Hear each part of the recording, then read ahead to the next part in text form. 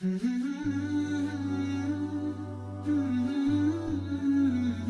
me, what Islam did, alhamdulillah, I converted quite young. And obviously as a young man, you're trying to find your way in this life and trying to build and build and acquire all these things. But for me, what Islam did for me, it kind of slowed me right, right down.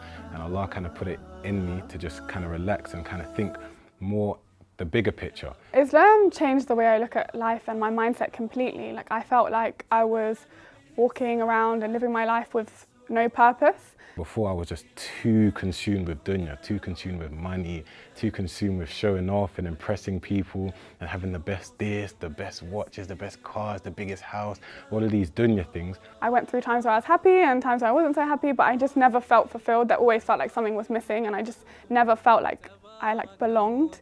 And Islam gave me this purpose and this belonging and this this happiness that like you just can't comprehend. Like you, you, it's something that I never even thought was possible until I accepted Islam myself. And now I've been Muslim, alhamdulillah, two years and I can't tell you how much it's changed my life for the better. Alhamdulillah, it's made me a better person, it's made me happier and it's made me content with whatever's going on around me. But what Islam did for me, it kind of put life into perspective in a way that the next life is so much more important. And I feel like what that did for me, it kind of gave me kind of balance and it kind of gave me that kind of ease and that kind of, that kind of coolness and calmness in myself that I didn't have before Islam. I think as humans, everything going on around us determines on how we're feeling. Islam gives you this like peace no matter what's going on around you. So the whole world could be falling apart and you're still okay, alhamdulillah, you're still happy, you're still content, alhamdulillah.